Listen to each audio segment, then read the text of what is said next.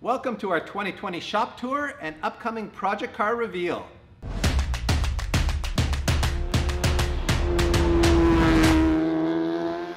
That's right, everyone. We are going to unveil our 2020, at least summer project cars to all of you. We've been hiding them in the back of the shop there for quite a long time. In fact, some of those cars have been in the fleet for over a year now. Pete's hoarding skills have come into play again, and he's been stashing away some really good stuff back there that I know you're all gonna be super stoked on. I know we're super pumped to get building them, and we're running out of things to do around here. The M3 is almost done, the Evo's almost done, so we are gonna be moving on to those cars shortly, but before we show you that stuff, I should give you a quick update on the M3. It is pretty much ready to go. It just needs a tune and Pete's gonna change out the valve seals because she's a little smoky at the moment. So uh, stay tuned for uh, an episode on that soon. And uh, you might also notice a few other things have changed around here, including our two post lift here. We have upgraded from our old rotary to this brand new BendPak. It is a 10,000 pound unit, asymmetrical design. And part of the reason we changed out to this setup is that it's much lower profile. So it's gonna allow us to get our lowered cars on the lift much easier than our old rotary would. With our old lift, we used to actually put the car on the dollies and jack it up in the air or drive it up on ramps or on wood to get it so it was high enough to clear. And now with the BendPak, as you can see, clears under there no problem. And being asymmetric, we also have the advantage of the doors being able to open much wider than before. We also installed the old lift backwards, which presented some problems because we designed it so that you would drive the car in nose first, but to shoot videos, we really need to go in back end first. So We've installed the BendPak in the correct orientation. All in all, this is a big win for us to, to have the new BendPak in the right position for backing the car in, and obviously having access to the underneath of our lowered cars with this low profile setup. It's gonna make it that much easier to get the cars on the lift and up in the air the way we need them. This, of course, is my partner, Connie Celica, my 1977 Toyota Celica that you may have seen on our channel recently because we've been going pretty hard at it. And by we, I mean, well, kind of me lately. It's been a, a, lone, a lonesome job working on her, and uh, this is Beamsy, her life partner, a 3S GE Beams blacktop motor that is gonna power this car once we put it all back together after paint. Speaking of paint, I'm still leaning towards a gunmetal, although I have been having a bit of a crisis lately because there's a used car lot up the street from me and every car in the lot is gray. And I'm like, man, am I, am I being boring by choosing gunmetal? Should I choose yellow or orange or something bright and shiny? So let me know in the comments if I'm crazy to paint a gunmetal, but uh, stay tuned for the next episode on Connie Celica where I power wash and really deep clean the Beams engine. So uh, that's what you've got to look forward to before it goes down to Street Bandito in Baltimore once I'm able to cross the border with her and get her properly painted. Dave called it a hoard, but really this is a collection of parts that come in very handy when we are working on our vehicles and we need something fast. This is Tranny Alley. Look at all of these gearboxes. There is a CD09. We've got an R154 that we're gonna be using pretty soon. We've got an S2000 gearbox, 240 gearbox, BMW. We've got a spare VQ back there. We've got a lot of them. And motor-wise, we have even more. Look at this, an RB26. Geez, I wonder what that's gonna be going into. We've got the S54 back there. Goodness, I've got two spare 2Js. SR20, so this came out of the um, 240SX, the K-Swap 240. And Dave and I have been pining to build another motor after building the Evo motor, so we may do this and put it into a future vehicle, which uh, I'm not going to spoil a surprise on, but you may be thinking S chassis. You may be right. Obviously, we've got uh, an, an F20 motor from an S2000. This, I think I purchased way back as a spare for the Badass 2000 and I didn't end up using it, so it's sitting here just in case. We still have those ITBs off the Badass 2000 you know, you can make something work. And this right here is just a junkyard K-motor. We always need K-motors. And I've got an old, I don't even know what it is. It's a Euro spec uh, three and a half liter inline six. I think it's like an MB35. I don't know my BMW engines, but this was actually a freebie. A guy left me a card on, uh, on my E28 and said, hey, I've got this high compression Euro motor sitting at my house taking up space. I, I, noticed your car. If you want it, you can have it. I couldn't pass that up. I never can.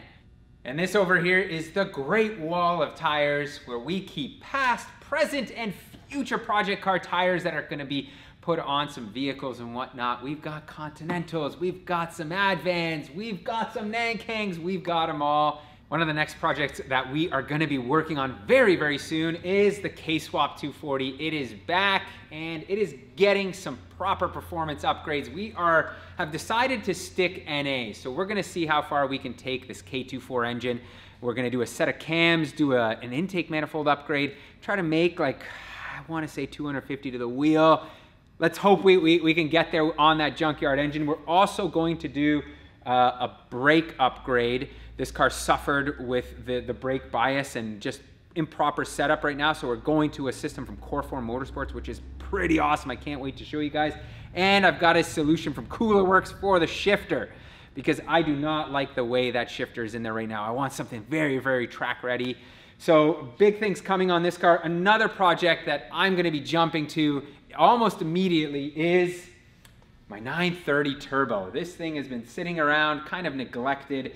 The plan for this is to go and do somewhat of like a Japanese themed build on this. I've got a nice big wing, I've got some new bumpers, and I've got some wheels that uh, are gonna blow your mind. They're gonna require some custom work to make fit up, but uh, just think of the TE37s. So I'm super excited for that one. And you guys know the Evo. We, at this point, we are almost ready to fire this thing up. I've still got a couple of things to finish up inside in terms of wiring, but everything is coming together very well. So the next episode on this will be us starting it up when me and Dave can get back together and going to the dyno. I can't wait. I literally cannot wait. Like the anticipation is killing me. And here is our fabrication area, which recently I've just reorganized. Our bench grinder is back over here with the belt sander. And that is because I want to contain a lot of the metal shavings and whatnot. we have our bandsaw here. This unit, I don't even know how old it is. I bought it off Rob at Auto Evolution. It is a tank. It works amazing. It cuts through anything. Miller. Thank you, Miller, for making such a great welding product. This is their TIG and MIG units. I've been using these for seven years now. Kind of crazy to think. And they've been rock solid.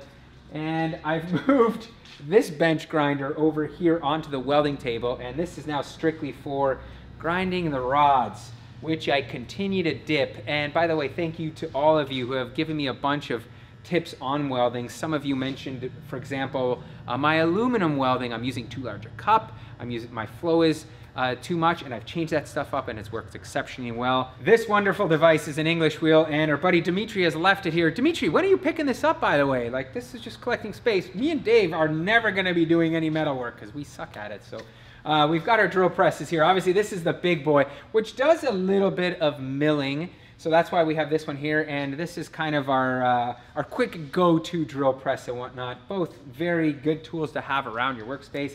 And another recent addition is this uh, Eastwood, I guess it's a brake. It's, it, it bends metal very easily and whatnot. And it's come in very handy lately when I was doing all that fabrication work on the Evo. So it's been uh, a, a welcome addition. One of the often never mentioned tools that we use around the shop are these Zendex GoJaks. These are fabulous. If, you, if you're running a shop and you need to move cars around by your lonesome, these are a huge help. I've been moving the Evo around just by myself with these.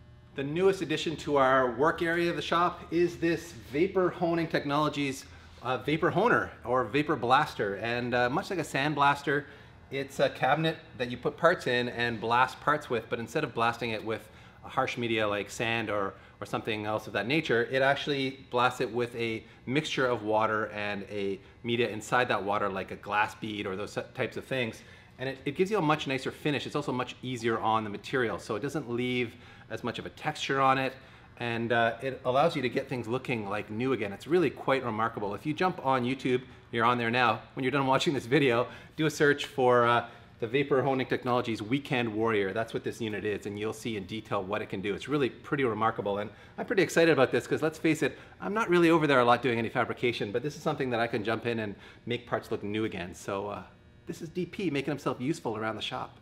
All right, guys, it's time for some big reveals, starting with two of the biggest, and that is a Mark IV Supra and an R34 GTR Skyline. I mean, come on, it, does it get any better than that? For a couple of old JDM fanboys like me and Pete, we have been dreaming of building these cars for a very long time. I think it's safe to say that the R34 Skyline GTR is a lot of people's dream car, including Pete, who's an old Nissan guy. So this car came to us in a really unusual way. We'll, we'll give you all the details when the build series starts, but uh, it has a really great story to it. What you need to know right now is that it, it's all original. This thing is pristine. We bought it on auction out of Japan and it is like showroom condition. It's absolutely beautiful. Just know that we got a smoking deal on this thing. Still not a cheap car by any means, but what a deal on a GTR. So really excited to see that come together. And well, me, I'm a Toyota guy. So Mark IV Supra is just like, that is the halo car from this era. It's uh, got the good 2J under the hood already. We don't have to be swapping anything in there. It does have some vintageness happening though. There's some patina to it. Once we show you under the hood, you'll see that it does need a little bit of love. And uh, do I want to say what the gearbox is or do I save that for later? You know what, let's save that for later, build a little anticipation. But these are going to be dream builds for us and really the first of what we're calling our JDM Legends series. So we're going to build these at the same time. You can follow both builds at the same time and our plan is to, of course, wrap it up with a good head-to-head -head battle between these two heavy hitters out of uh, Japan. For those of you that have been around since the beginning of our channel and website, you may notice, you may remember this. This is a 1999 BMW 540 Touring, or wagon as some people would like to call it. And I had high hopes for this. I brought this back from California, still got the California plates on it. I had hopes of putting a 2J swap into this, but eventually we ended up doing the M3, which was a better idea anyway. So I thought to myself, you know what? What would be a good swap contender for this? and I came up with the grand idea of swapping a BMW M5 motor into it. Of course, that makes the most sense. Why not build an E39 M5 Touring? I think that's such a cool idea. It should be a turnkey swap. It's not gonna require a ton of work. So I picked up this parts car, which is actually a exceptional running E39 M5. I'll get into it in the video series, but it's it was purchased for super cheap. It's a rebuilt title car. Now, I didn't want to leave Dave out of this, so I challenged Dave and said, why don't you go buy yourself a, a, large sedan, you know, a cruiser car. Like we need really cool dailies. We want to have decent dailies. So you'll see what Dave has purchased because I think it's actually pretty cool too. It actually hasn't arrived yet. So we will get to that pretty soon. I think we're going to try to build those sedans at the same time as we're building the, uh, the GTR and the Supra. And it's pretty obvious that we have added some extra storage back here via Bendpak 4 post hoists here. This is their 7P model. It is a 100 inches wide, so it's actually their most compact model in that sense. And it's uh, got 110 volt, which I really love because we would have had to run a 240 volt all the way to the back of the shop. These plug into outlets are super easy. They do require air, so actually I just run an air line to it, hook it up, and I love them. They've now added so much more space in the back here, and they kind of look cool too. For you eagle-eyed viewers out there, you may have noticed this FDRX7 hiding underneath Pete's uh, greasy old M5 up there, and this of course is going to be part of our JDM Legends series. It'll follow, probably follow the builds of the uh, GTR and the Supra, and that means there's going to be another one to build off against it, which isn't here at the shop yet. He's actually hiding it somewhere else. He may give you a bit of a teaser on that later in this episode. I am super stoked on this build because I'm an old rotary guy. I had an RX-8 for years and we did an engine build in that car, which was a really cool experience. They're such fascinating engines. And in fact, we got a smoking deal on this car, both because it's right-hand drive, which isn't necessarily that desirable here in Canada, and because it has a blown motor, which means engine build time. So we actually have a big engine build series planned on this with Valvoline, where we're gonna do a very cool engine build with our buddy Joe Ferguson from RPM Motorsport who was featured in our how to build a rotary engine video. We'll put a link in the description of that video if you want to see it, but it's been viewed over a million times. I think it's our most viewed video, so we're hoping you guys will dig some more rotary content. I know I'm super pumped on it. As for the other cars that are here now, of course, you'll recognize our 350Z. This car was built as part of our drift build-off, and uh, I love this car. It was super fun, and we're now thinking about how can we reinvent it, because we're kind of uh, moving on from the drift car concept and we've thought about uh, maybe doing a build off with it versus an American sports car. So kind of like a Japan versus America battle. So uh, we choose a popular American sports car for that. And in fact, let us know in the comments below what you think of that idea. Would you like to see the 350Z go, go up against some like classic American sports car? Not classic, but popular American sports car. Over here we have our much loved Scion FRS, which we took to Targa Newfoundland and won the Ontario 1500 with. It's now got a broken rear axle. We had that happen at our last lapping day, so we need to do a little bit of work there. The front splitter also came off that same day. It's a bit of a catastrophe for us, but uh, the car is needing a little bit of love, so I'm not sure what's going to happen with it this year. We have a lot planned, as you can see here, so I'm not sure if you're going to see any wrenching on the FRS this year or not, but it is still uh, it still has a big place in my heart. I love that car and I'd love to develop it further. My goal is to have as much organization as possible, and that always includes nuts and bolts, little odds and ends, and the organization rack continues to expand. I've added this small one here, and recently I've added another one because you can never have enough of that. And the toolbox, I mean, the toolbox is pretty standard. You guys know what it is. It's got wrenches in somewhat organized fashion socket set right here as you guys can see it's, it's okay it's not like full pro spec this is my favorite cabinet right here and that has all of our Milwaukee tools because you can never have enough Milwaukee tools and as you guys have seen in previous videos I'm just over the air I'm now fully converted to being all about the electric tools and I mean here it is. This is kind of like our little workbench. We don't use this too often, do we? We kind of like uh, just use it for storage space. We've got all our like thread restorers, some bits and whatnot in here, and then all the other stuff. So, you know, drill bits, some of the electrical stuff, and this is the most important one, guys. You know, you can never have enough Ziploc bags for organization purposes. Moving on to our sticker bombed cabinets here. Our first cabinet is full of all the good stuff from Valvoline. As you can see, we've got racing oils, we've got conventional oils, well not conventional, full synthetic, but street oils. We've got some uh, Octanium from VP. This stuff worked amazing in the STI. Pete's gonna need all of these to try to keep up in the Evo. We've even got some coolant down there from Zerex, our fluid film kit for undercoating and rust protecting our cars. So that's where all that kind of stuff lives. And over here, oh, we've got our, uh, our QuickJack, by the way, which is a really handy tool for getting your car off the ground if you're in a home garage and you don't have room for something like the BendPak. This is a great solution. You can even get a battery powered one to take to the racetrack, which I think is a pretty awesome deal. So love that tool. Over here, we've got our cleaning cabinet. It's got all of our paints, our cleaning products from Sonax and our polishes as well from Sonax. You know, all the stuff you need to make your car look shiny and new. And last but not least, there's a lot of important stuff in here. This cabinet we go to quite a lot actually because it's got stuff like, you know, wire wheels, uh, sanding discs, it's got JB Weld and hose clamps, just stuff that you seem to need to, to work with when you're putting, building a rusty car or putting an engine back in a car, all that kind of stuff. We've got tapes, we've got some uh, kits down here like our bolt buster and our, uh, our Rupes polisher, so that's where all that stuff lives. And down here, well, this is where Connie Celica's been spending some time lately, or at least various parts of her as I polish the chrome and uh, refinish the dash pad and all that kind of stuff. So I've been getting some good time in here. And of course, in this last shelf, we've got Connie blown up. She's in boxes now, just living over here waiting to be reassembled. So there are a few cars that are in our fleet, but not at the shop here. Obviously, Dave is driving the STI. My E28 is hibernating in my garage. I do drive that car on the weekends. And where's the Miata? It is not sold. I was planning on selling it, but then we got the crazy idea of probably K-swapping it. Yes, we're gonna try to fit that into our already busy schedule here. As you can see, we have so many cool projects planned for the year. I am beyond excited. I know Dave is as well. So guys, thank you so much for watching.